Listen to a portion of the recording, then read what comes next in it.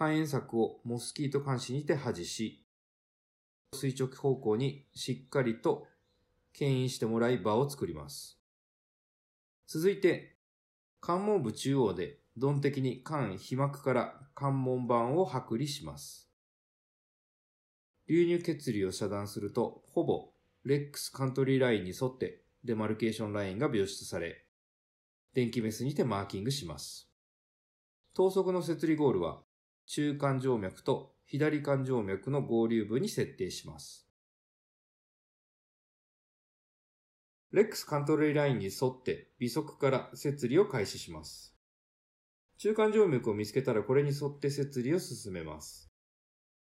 S5 のドレナージベイン V5 と V4 との合流部まで設理後、中間静脈、腹側と左側を露出するように関節理を等速方向に進めます。